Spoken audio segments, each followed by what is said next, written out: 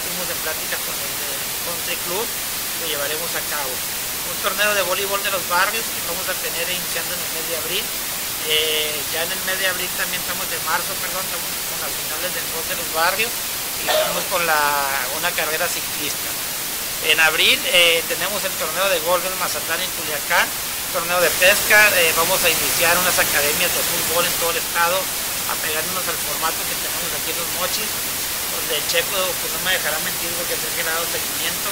Son bastantes los jugadores que han salido de esa academia, que están en fuerzas básicas, los más relevantes, está Carlos Fierro, está este Chavo Arias, Sergio Arias, está Escobosa, que ahorita está de moda en la selección, que todos ellos han pasado por esa academia de fútbol y orgullosamente son de los mochis y son seleccionados nacionales. Eh, también en el mes de mayo eh, venimos con el torneo de pesca, un torneo ya muy, muy, este, muy prestigiado aquí en los mochis, venimos con un nacional de voleibol, que estamos del así en Guasave, en Mazatlán. Eh, venimos también en el mes de junio con un, nacional de taekwondo en Guasave, que se va a llamar Copa María de Rosario Espinosa, con un nacional de natación en Guamuchi, aprovechando que hay una alberca ahí que, ya está este muy, muy grande y con las características para ese evento nacional. Y por lo decía hace un momento, no me podía quedar atrás con el básquetbol, porque los basquetbolistas apoderados del deporte en Sinaloa. Vicente Urias en Elizabeth, que es basquetbolista, aquí Jaime Leiva en Mochi, que es basquetbolista, Jorge Casanova en Culiacán, que es basquetbolista, eh, Noel Leiva en Guasave, que es basquetbolista, el del Rosario no me acuerdo cómo se llama. Bueno, yo creo que ya en Mazatlán no pudieron porque me hicieron una ciclista ahí en, Mazatlán, ¿no? Y, en, y, ahí en Guamuchi no sé el hasha que se dedica. Creo que esta administración, estos tres años, eh, va a haber un crecimiento enorme en el básquetbol. Por eso venimos con un nacional de básquetbol también. Inicialmente lo habíamos considerado en junio. Ayer me senté con el presidente de la Beneva, que es muy amigo de ustedes, y decidimos cambiarlo para octubre. ¿Por qué para octubre? Porque él me planteaba que en estas fechas todo el mundo está en exámenes, entonces es una fecha viable. Nada, necesitamos esperar a que los alumnos regresen a la escuela en agosto, tengan dos meses, que puedan integrar sus equipos y vamos a estar con ese nacional en el medio de Mazatlán. Ya tuvimos el año pasado uno de fútbol muy exitoso, ¿no? En julio eh, vamos con la inauguración de los torneos de fútbol, vamos con el Nacional de Voleibol, digo con un evento de voleibol de playa en Guasave y en, Mazatlán. En agosto vamos a tener una conferencia deportiva, queremos traer un personaje importante. Eh, en alguna ocasión vino, este señor de Argentina, ¿cómo se llama? El Valdano, lo tuvimos en Culiacán Estamos viendo si tenemos un personaje de ese tipo, todavía no lo tenemos definido en el mes de agosto para tener las cinco casas y que les pueda dejar información de liderazgo a ustedes como profesores del deporte. También invitar a empresarios para que relacionen el liderazgo deportivo con el liderazgo en la empresa y con ello eh, poder nosotros dejarle también conocimiento a la gente de aquí de los mochis. Eh, también venimos con más inauguraciones de los barrios. En septiembre seguimos eh, con un nacional de fútbol en Mazatlán, el año pasado lo hicimos, tuvimos 130 equipos, un evento muy muy exitoso, se fueron más de 20 jugadores que fueron victoriados por los clubes como Morelia, tuvo Atlas, estuvo por ahí con nosotros este Chivas y ahorita no recuerdo qué otros clubes, fueron cinco clubes los que estuvieron ahí con nosotros. En octubre estamos con un primer torneo de pesca en Altata y seguimos, de, volvemos a inaugurar el torneo de voz de los barrios en el mes de octubre en noviembre pues ya se los había platicado, venimos con el golf, venimos con la clausura de los barrios, venimos con una carrera pedestre y medio maratón en Culiacán, con un torneo anual de de vela en, Mazatlán y tenemos el gran estatal de fútbol eh, que va a ser en la ciudad de Culiacán. Pero venimos también con un, con cierre, con un cierre con broche de oro en diciembre.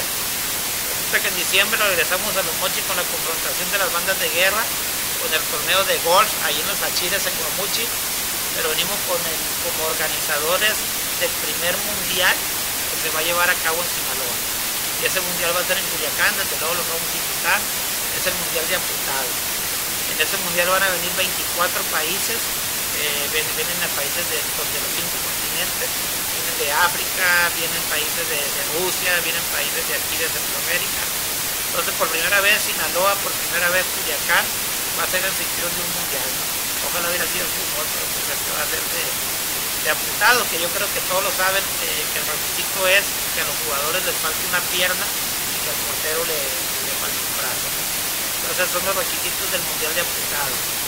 Aparte de esto, como lo dijo Araceli, venimos con la lucha libre, venimos con una caravana del BOT, donde vamos a sacar un campeón de Sinaloa, vamos a sentarnos con los presidentes de las, de comisiones de box y lucha, con los directivos de, los directores de directores de deportes, para ver cuál va a ser el modelo con esa gira.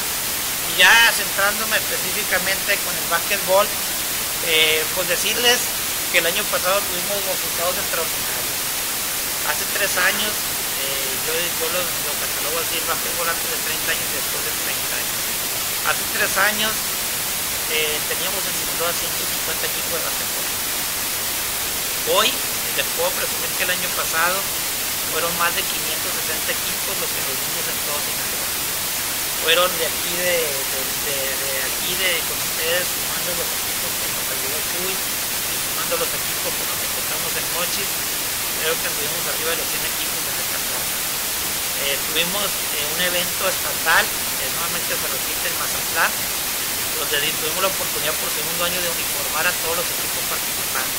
Fueron 103 equipos los que fueron del estado de Sinaloa a participar en ese evento nacional. El debate, desde luego, eh, hicimos el traslado de los jugadores, les entregamos un juego de uniformes fue un evento donde tuvimos también un homenajeado de lujo, que fue este, Mesa, como se llama, David Mesa, y también en Culiacán tuvimos un homenajeado de lujo que fue Víctor Ávila.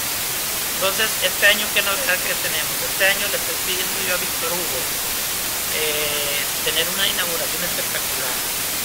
Yo le estoy pidiendo que vaya y me busque a los directivos, no sé si estén por aquí, del equipo de, los mochis, del básquetbol profesional de los mochis. Pionero no está por aquí el directivo de Pioneros. Que vaya también se ponga de acuerdo. ¿Quién es? y luego el dueño del de WhatsApp del noveno.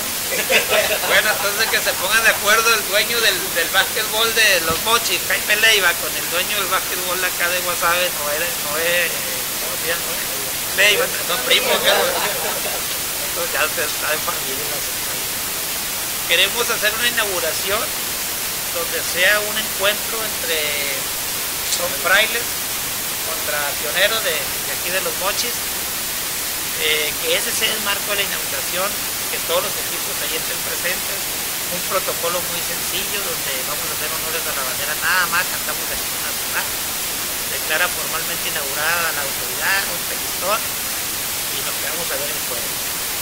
Entonces queremos dar ese brinco, queremos eh, este año brincarnos un poquito la inauguración acartonada de, tener de estar en una cancha, de, de echar ocho discursos y este entonces queremos darle eso. ¿Por qué? Porque lo que el debate está buscando eh, a, través de los eventos deportivos es generar este, una vivencia, es generar un momento que la gente recuerde y que la gente le quede registrado.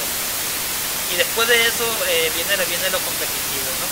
Entonces queremos inaugurar así, ojalá que lo pueda realizar este Víctor Hugo, eh, ya les decía, venimos con el estatal en junio, venimos con el nacional en el mes de noviembre. Y desde luego también queremos dar el brinco eh, fomentando el valor, en esta ocasión yo creo va a ser el valor de la felicidad.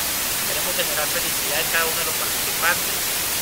todas las actividades que haga Víctor Hugo encaminadas al buen desarrollo del torneo van a ser encaminadas con acciones donde busquemos generar felicidad siguiente torneo ya buscaremos qué valor estamos nosotros este, conquistando